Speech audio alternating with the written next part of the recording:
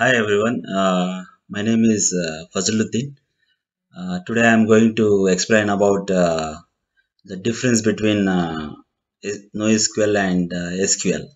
So this is really interesting topic uh, as per my knowledge. Why? Because many techies want to know what exactly the difference between SQL and NoSQL and which one has to choose when. So uh, this slide will slides will help you out to find that uh, answer.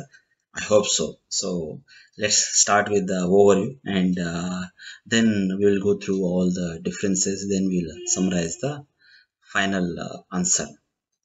Let's move to the overview. As part of the overview uh, i'm going to give some uh, high level information about sql and nosql uh, NoSQL is a category of databases distinctly different from SQL. Uh, NoSQL means not only SQL. So it is not only the SQL and it has uh, many features uh, which is really differs from uh, SQL. And uh, SQL server and relational databases is already there in the market and uh, this uh, SQL uh, databases are provided from uh, many vendors and uh, it is there from almost 20 years and it is still uh, leading the market comparatively NoSQL but still NoSQL is uh, coming into the market with very good features.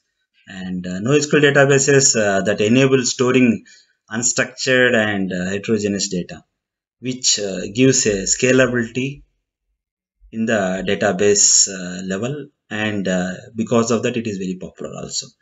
There are a number of technologies in uh, NoSQL category including uh, document uh, databases key value stores column family stores and graph databases uh, which are popular with gaming and social sites or whatever it is like social frameworks whatever we are developing for social websites kind of thing. And uh, sql databases are primarily called as uh, relational uh, databases whereas uh, NoSQL databases are primarily called as uh, non-relational uh, databases. Okay. And NoSQL databases are also called as distributed databases. SQL databases have a predefined schema whereas NoSQL databases have a dynamic schema for unstructured data. Uh, so that is what the main difference. And uh, sql databases are not best fit for hierarchical uh, data storage. But nosql databases fits for fits better for the hierarchical data storage. As it follows key value pair you need to note the point and uh, uh, data similar to json it will store in the database. Uh, let's move to the next slide. Uh, here in this slide uh, you will see like uh, which are the domains uh, will use uh, NoSQL and SQL. Uh, mostly NoSQL if you see gaming is there, social media is there and uh, IoT is there and uh, web is there and mobile is there and enterprise is there, key value store is there, document database is there and uh, column family store is there. And coming to the SQL, we have web, mobile, enterprise, data mart and relational table storage and relationship uh, use joins are there.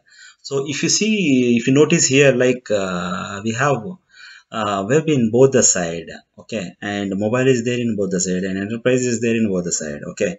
So you might be surprised uh, like uh, why it is there in both the side.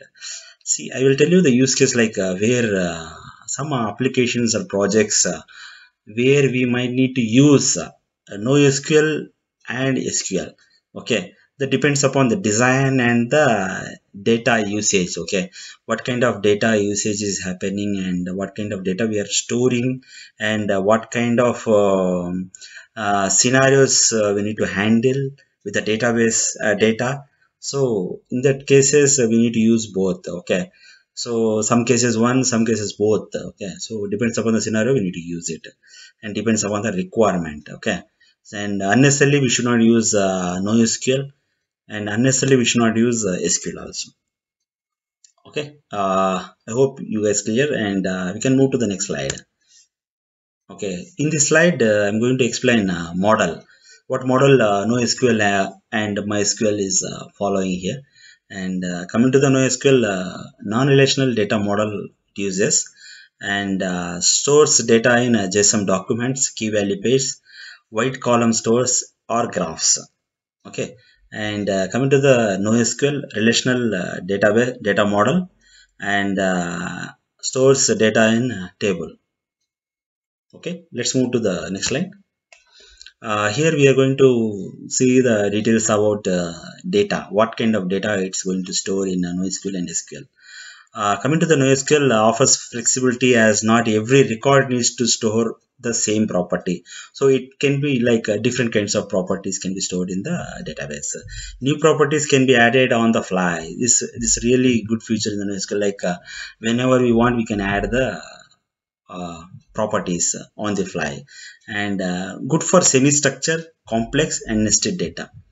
And uh, wherever we will see uh, semi-structured not pretty structured format or a little bit complex data if you find and nested data like linked to each other some nested data types are there.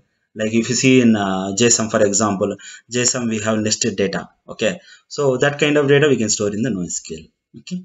And uh, relational captured by denormalizing data and presenting data in a single object in a single record. Normally uh, data will be stored in a single document kind of thing okay? Most of the data will be stored and you can plug uh, how much uh, want uh, data need to be added we can add it into the and different kinds of properties also we can maintain into that okay? And uh, coming to sql used where the solution for every record has same property. So like many times like the same kind of properties uh, data will be there. So we will like it's like a structured data okay? So we will handle in uh, sql and adding properties may require altering schema. This is the limitation okay? When you add uh, when you want to extend the data uh, you need to alter the uh, schema sometimes okay? And uh, backfilling of data will be happens. And good for structured data. So this is the catch okay? It is good for the whole structured data. Relations are captured in a normalized model using joins. Oh, this is a very good feature which has in SQL. Like uh, we have a joins, we can uh, integrate multiple uh, data sets and we can retrieve the data and resolve references across the table. So there are different references will be there. So we can resolve using this uh, SQL. Let's move to the next slide.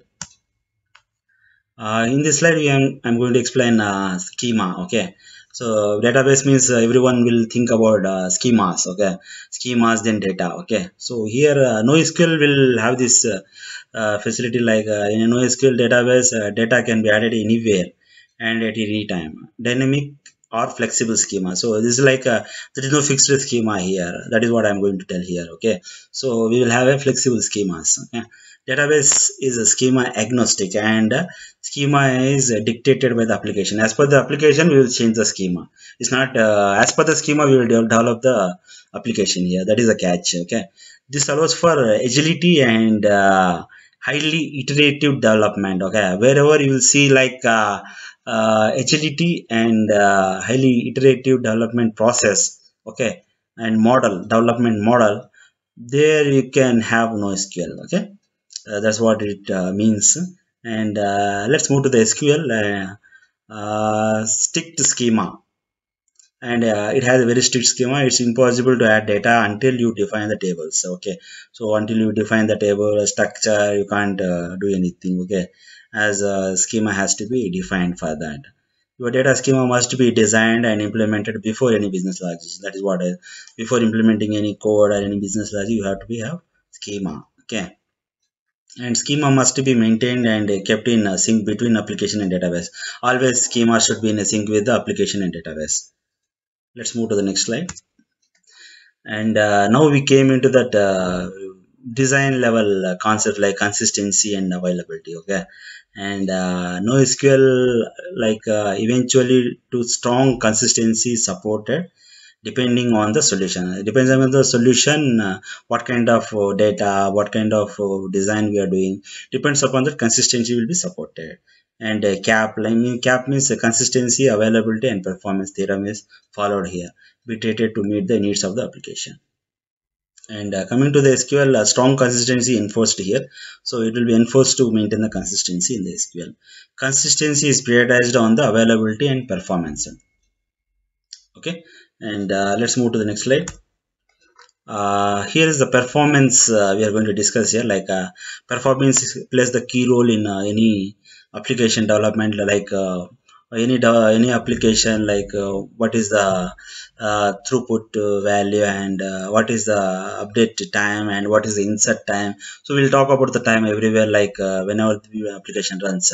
So coming to the NoSQL like performance can be increased by reducing the consistency. Like consistency and performance are linked here actually. So if you are not uh, much uh, uh, keen to consistency you can go to the performance if needed okay? All information related to the entity is typically in a single record. So we already discussed this one. So it will be mostly in a one record we will store all the information. So update can happen in one operation. And uh, coming to sql uh, insert and update performance is depend on uh, uh, how fast write is committed okay? Like we will insert uh, the data how fast it is happening. As uh, string consistency is uh, enforced here okay? Performance can be increased by scaling up uh, available uh, resources and using in-memory structure. Like in-memory how much memory it is taking and depends upon that we can do the scaling of the application and performance also depends upon that. Information about entity may be spread across many tables and rows and require many joins to complete and update our query. So here the when we talk about the SQL uh, performance like uh, uh, we will have multiple tables and we need to join it and if you are not joined properly and if you are not use indexing properly then performance uh, automatically will get decrease. But we have a we can achieve that one by doing the necessary steps. Let's move to the next slide. Here we are going to talk about transactions and uh, scale. Okay Coming to the NoSQL transaction, ACID transaction support varies per solution. As for the solution, we can handle uh, ACID transactions. And uh, for SQL, like supports ACID transaction by default. And uh, scale means scalability, how we can scale the uh, NoSQL. NoSQL uh, scaling is typically achieved horizontally with uh, data partitioning to span servers. Okay. So horizontally, we can achieve this one using the data partitioning. Okay. We need to note that point. Okay and SQL less uh, scaling is typically achieved uh, vertically with more server resources. Okay, it, it achieved through uh, vertically. Okay, more servers. We adding the uh, more servers, we can achieve that one. And uh, let's move to the next slide. Uh, here we are going to talk about the support. Like uh, whenever we are adopting some technology we always look for uh, what kind of support we'll get when you adopt the technology. So that is that is also very crucial. Like uh, when you stuck somewhere and uh, you were looking for uh, some solution if you didn't get the solution then uh, it's like uh, it's uh, money and time waste kind of time and money waste okay? So you can say anything okay? So coming to the NoSQL, NoSQL database mostly comes with the open sources uh, so you still have to rely on community support and uh, only limited outside uh, experts are available for you to set up deploy a large scale of now now a lot of expertises are there like mongodb and all other NoSQL databases. Many uh, people are expertise into that. So uh, now we have more support than previously okay? So no need to bother much but still you can adopt NoSQL uh, without any issues and coming to the SQL, uh, like excellent support is there because it, is, it was there from long time. I, as I told in the previous slides, like it is there from almost 20 years. So it has a well established uh, forums are there and uh, we can get a uh, lot of expertise to get the help. There are a lot of independent consultants also there. So who can provide the lot of uh, support. Okay. Let's move to the next slide. Uh, here we are going to talk about data integrity. Integrity is like one of the one more uh, key uh, point where we look as part of the design. So the same data uh, for NoSQL like uh, the same data integrity options are not available in NoSQL database. So you can store what you want regardless of any other documents okay ideally a single document will be sole source of all information about an item so integrity part like in NoSQL, uh, not that much uh, preferable here why because it's storing complete data into the one uh, document. Okay, regardless of any other document. So independent documents we are going to store. And uh, coming to the SQL, like most SQL database allow you to enforce data integrity rules using foreign key considerations like it has a foreign key so we can it will make sure that integrity is maintained and uh, the schema enforces there are schema rules also we can create. So as per the rules we need to uh, developers uh, everyone has to follow to implement the application okay? So there, that is like uh, it will enforce uh, the developers and other team to make sure that this rule should be followed and integrity is maintained in sql uh, we'll move to next slide. Uh, coming to the joins NoSQL doesn't have no joins okay?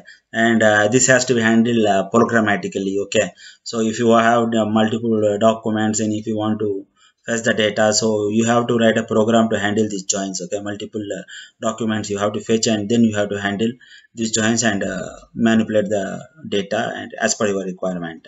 Uh, coming to the sql like sql queries offer a powerful join class. So we can we have by default joins so we can have different kinds of joins in that. We can use those things in sql let's move to the next slide. Here this is a sample queries i have given here in the slide for your reference. Like uh, to compare like uh, it's not much difference in the querying part and implementation part. If you are once you're familiar with any NoSQL or SQL I think you will understand easily what we are doing in the queries. This is a sample slide which can be skipped actually. Okay just uh, we can skip this line here is the summary like uh, we are in the last slide so uh, we will go to come to the conclusion like uh, where we need to use the SQL and where we need to use the NoSQL uh, projects where SQL is ideal is uh, logical uh, related discrete data requirements which can be identified upfront. So in that case, we can go for the SQL. Data integrity is essential. Wherever you think data integrity is essential, let's go to the SQL. Standards based power proven, sorry, proven technology with good developer experience and support. In that case, we can go to the SQL. Okay. and projects where no sql is ideal. Unrelated in indeterminate or evolving data requirements like uh, unrelated indeterminate you did you don't you don't know the requirements in evolving our data requirements. You are in still in evolving our data requirements. In that case you can go to that uh, NoSQL. Simpler or looser project objectives. If you want to have the looser uh, project objectives and simpler objectives then you can go for this NoSQL. Able to start coding immediately without uh, waiting for that uh, structuring the data and defining what objects has created you can start the programming. Speed and scalability is imper- imperative. So here if you want to um, have the performance wise and scalability wise you can go for the NoSQL. Uh, so we completed the walkthrough of this uh, NoSQL SQL uh, difference and I hope you guys enjoyed this uh, slides presentation. So if you like this presentation just uh, subscribe uh, my channel technology adda for more videos thank you so much. Thanks for watching my video